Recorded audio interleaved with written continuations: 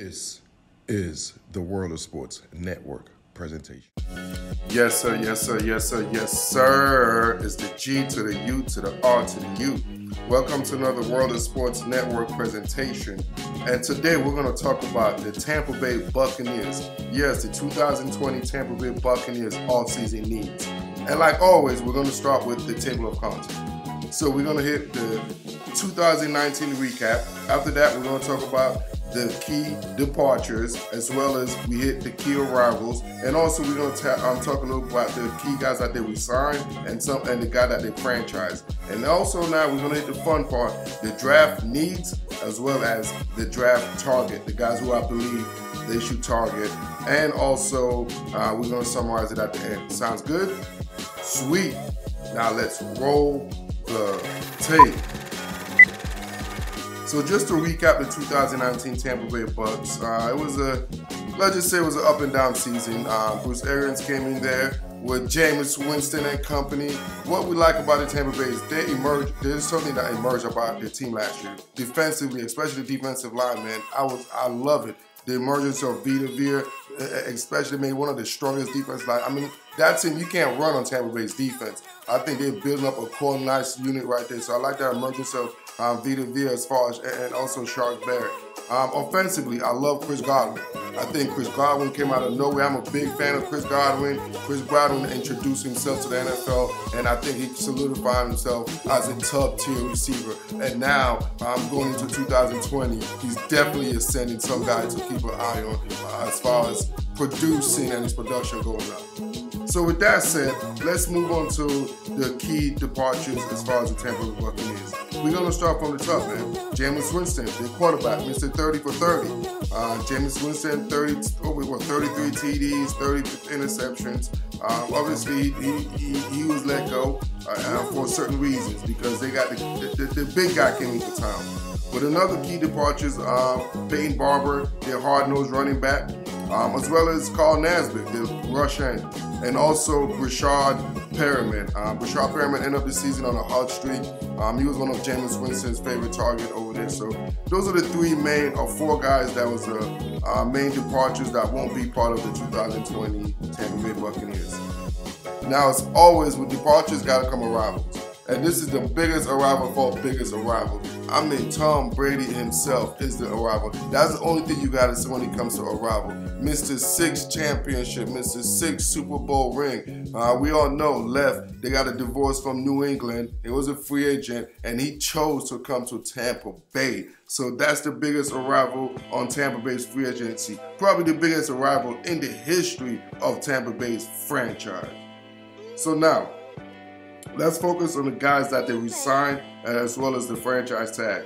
Uh, the franchise tag Shaq Barrett, the NFL sack leader. So um, I think that's a big one because I mean those guys, the pass rush and the Tampa Bay front four is their strength. I mean, I'm talking about with Barrett and and, then in Ndamukong Suh, they're also who they resigned, as well as JPP, Jason Pierre-Paul. I mean, this defensive line is going to be vicious and they're gonna be aggressive and they're gonna be playing fast. So um, I love I love what Todd Bowles and company did last year, and now especially bringing those guys back um, this year. So those are the guys that they kept. So now let's move on to the fun part. The draft need.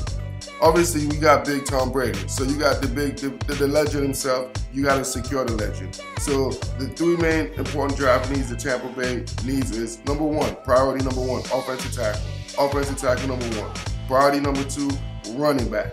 Definitely a running back. It's all about, and then priority number three, wide receiver. Obviously, you got Tom Brady for a couple of seasons, so you better feed Tom Brady whatever he needs. That's why his top three draft picks that Tampa Bay Buccaneers are going to make most likely is going to be to cater to Tom Brady's needs. Now, with those draft needs, now let's talk about. Let me talk about the targets.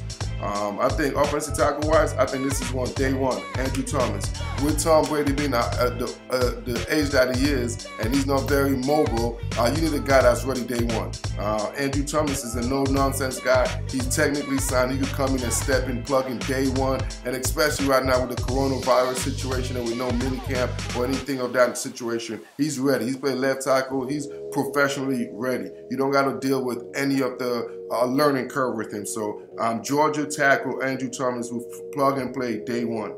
Also, uh, as far as running back, I believe Cam Akers from Florida State. I love Cam Akers. I think his versatility would fit Tom Brady exceptionally. Cam, um, Cam Akers got one of the best hands out of the backfield in this entire draft and as well as he could run in between tackles. So I think he could be a dual threat guy for Tom Brady and that Tampa Bay offense. So I expect second round Cam Akers, running back from Florida State. And lastly, receiver. Uh, obviously, like I mentioned, departure of Breshad Perriman, leaving them. So you got to get somebody else for, to come into the slot with Mike Evans and Chris Godwin. I like Florida, stay in the state of Florida. I like the Gators Van Jefferson. I think he's obviously one of the best route technician in this draft. Yes, Van Jefferson. Obviously, coming from a um, from an injury, but when he come back, he's gonna be full strength coming to the season, and he's just uh, he has high football IQ. Uh, those are the type of guys um, Tom Brady plays with, and he fits that profile. Fifth year guy. So Van Jefferson would be my pick for as far as the replacement for Breshad Perriman and the third receiver for Tom Brady.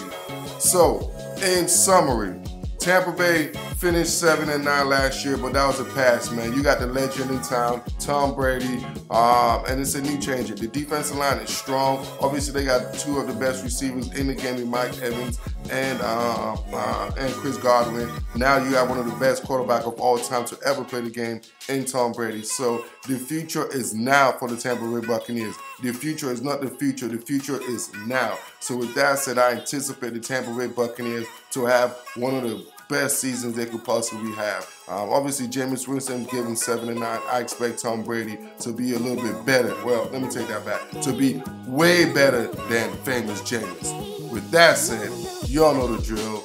Like this, love this, share this, and I'm out.